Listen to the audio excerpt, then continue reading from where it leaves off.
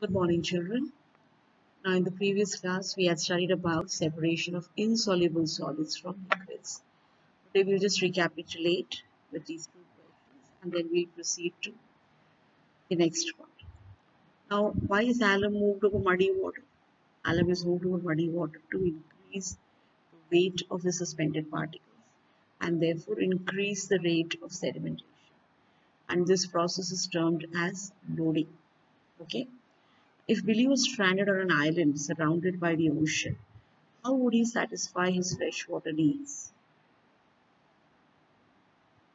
He will be doing it by evaporating or distilling the water, the sea water, so that he gets fresh water or distilled water from there. Right?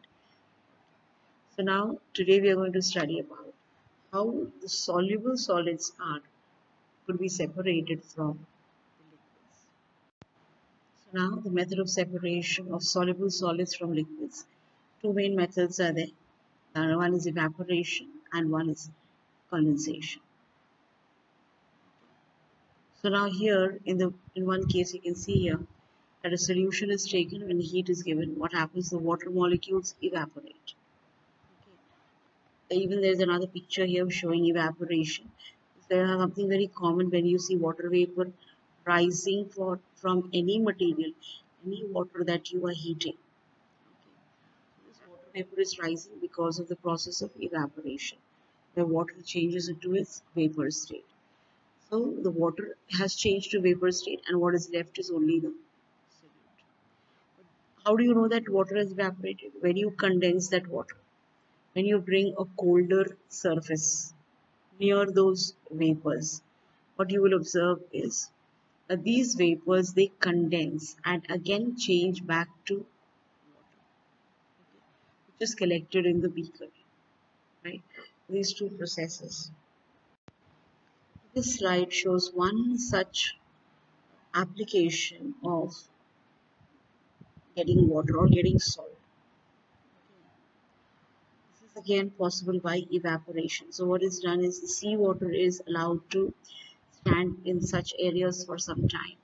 And during that due to the heat of the sun the water evaporates. As the water evaporates salt in the seawater is deposited here right? And this salt is then purified and and then you get the salt. This formation of salt from seawater is an example of evaporation so now the next method of separation is distillation where we get the solid, the liquid that is the solute and the solvent both. This is a means of separating soluble liquids from their solutions. Now you can see a distillation flask here, okay, which is connected to a condenser. Okay. Now what happens here when the mixture is heated, then the water evaporates and the water vapor passes through this tube and as it passes there is cold water flowing in this condenser. And this cold water condenses the uh, water vapor into liquid water. And after all the water has evaporated you have the salt or the sugar. Whatever is the solute will be remaining in the flask okay? Now why distill now at the end of this process we get distilled water which is very pure. It is not having any minerals nothing. Everything has is remaining here so where why do we use this distilled water? Why do distilled water? We use it for vehicle batteries and also to prepare baby food commercially. Okay. Now to separate two immiscible liquids, we use a separating funnel like we had discussed earlier. And even by mistake, suppose oil is mixed with water.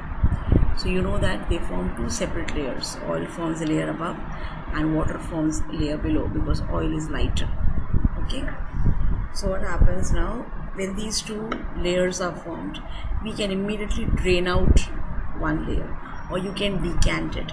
But the better process is using a separating funnel where in this funnel the mixture is kept.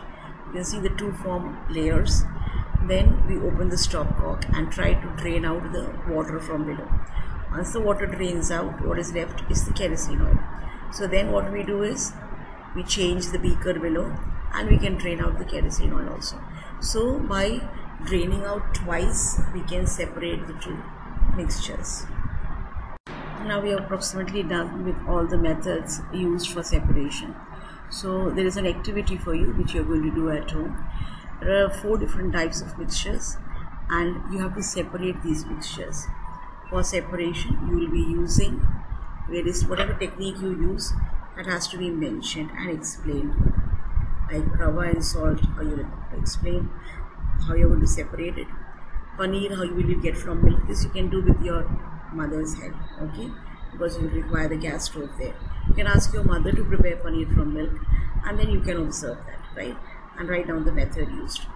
Then sand and water could be done by you and even how to clear water from get clear water from muddy water